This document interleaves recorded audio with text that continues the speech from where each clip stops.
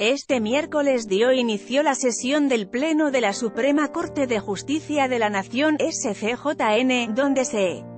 elegirá al ministro que supla al ministro Luis María Aguilar Morales, quien concluye su cuatrienio. Puedes leer, Nuevo Año, Nueva Historia en el Poder Judicial, Suprema Corte tendrá nuevo presidente Cabe recordar que el ministro presidente Luis María Aguilar concluyó su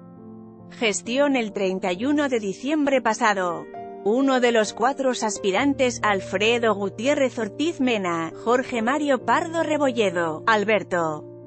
Pérez Dayán y Arturo Zaldívar Lelo de la REA, deberá conseguir los seis votos que como mínimo requieren para que uno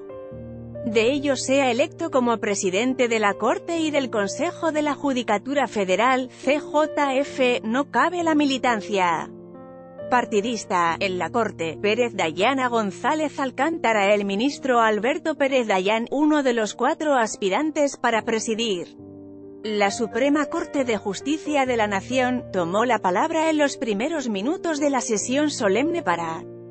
dar la bienvenida al nuevo integrante del Pleno del Máximo Tribunal, Juan Luis González Alcántara Carranca. En esta distinción no cabe